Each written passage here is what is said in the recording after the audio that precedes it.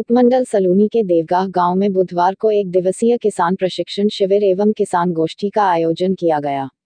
आत्मा परियोजना के तहत आयोजित करवाए गए इस किसान प्रशिक्षण शिविर में किसानों को जैविक खाद व विभिन्न प्रकार की खेती करने बारे बताया गया।